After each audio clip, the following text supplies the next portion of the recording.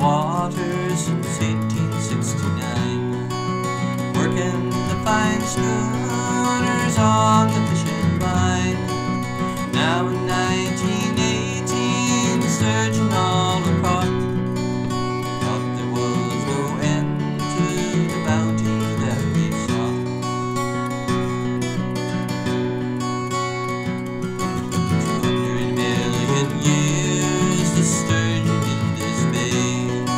have traveled freely.